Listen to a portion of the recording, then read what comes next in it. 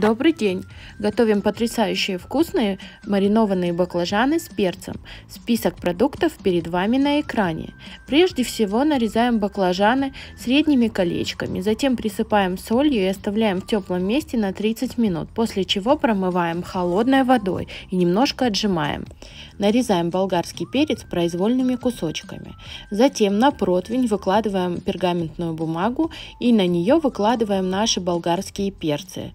Смазываем их подсолнечным маслом и отправляем в предварительно разогретую духовку до 180 градусов примерно на 10-15 минут до образования золотой корочки. Измельчаем нашу зелень. У меня петрушка и укроп. Вы можете взять любую зелень на ваш вкус. Также натираем на терке, либо нарезаем мелко чеснок. Смешиваем зелень с чесноком в отдельной миске и пока отставляем ее в сторону.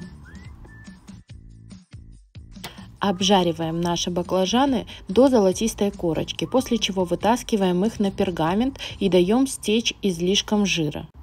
Приступаем к изготовлению маринада. Нам понадобится 300 мл воды, 1 столовая ложка соли, 2 столовые ложки сахара и 1 столовая ложка уксуса. Все тщательно перемешиваем. Затем поочередно выкладываем овощи, чередуя баклажаны, зелень, перец, баклажаны, зелень, перец. И так до тех пор, пока не закончатся овощи. Затем заливаем э, нашим маринадом так, чтобы маринад покрывал полностью все овощи и оставляем на 2-3 дня в прохладном месте.